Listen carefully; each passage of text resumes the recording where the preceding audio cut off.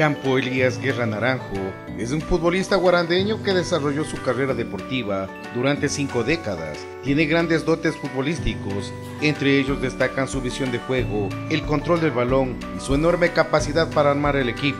Yo estudié en la escuela Gustavo Lemos, también desde ahí junto con mi hermano ya desde tempranas edades ya fuimos seleccionados de la escuela en el baby fútbol, eh, escuela Gustavo Lemos donde nuestro entrenador y maestro fue un finado Eduardo Vázquez, ¿sí?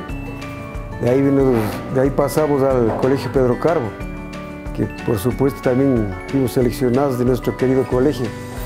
Sus inicios en el rey de los deportes se remonta desde temprana edad. Su padre, un reconocido jugador bolivarense, un espejo que le impulsó a que se apasione por la número 5. Mi papá también jugador de fútbol, integrante también del club tradicional Huracán y también seleccionado de la provincia. Eh, yo desde pequeñito iba a verle jugar a mi papá. Yo prácticamente le llevaba el maletín a mi papá. Entonces de ahí nace ese, amor por, el, por este bello deporte que es el fútbol. Fiel hincha del Deportivo Quito, es el equipo de sus amores. Aún recuerda con cierta nostalgia y admiración a sus entrenadores que fueron un pilar fundamental y guías en esta carrera futbolística. En la escuela, don Eduardo Vázquez, en el colegio licenciado Lucho Villafuerte, de ahí tuve entrenadores como don, don Segundo Caicedo, que también colaboraba a mi, a mi perfeccionamiento. Y por supuesto, esa gloria del fútbol mundial, que fue Moacir Pinto, seleccionado del Brasil, campeón mundial de Brasil.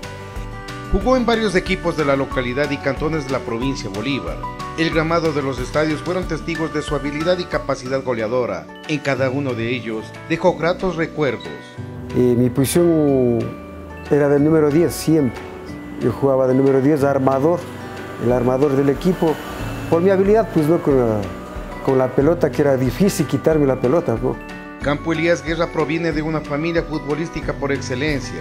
Su hermano Javier fue compañero en algunos equipos y en la selección de Bolívar fue donde brillaron y alcanzaron destacados triunfos que marcaron su vida. Yo tuve la oportunidad de jugar en algunos equipos inclusive ya con contrato hecho, ya tenía un contrato hecho.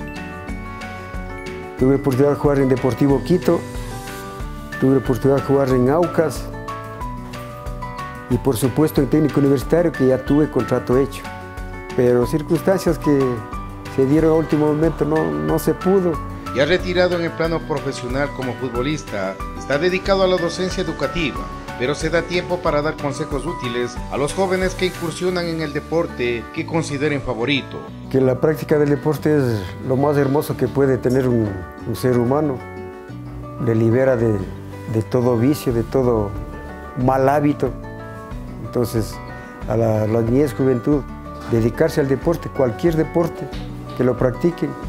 Y mucho mejor si es el fútbol. Es una belleza jugar fútbol, demostrar sus habilidades. El fútbol le ha dado grandes satisfacciones para desarrollarse como deportista y ser un jugador para ser recordado en la historia del balompié bolivarense.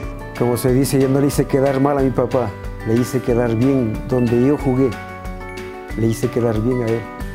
Y por supuesto salieron los, los retoños, ¿no?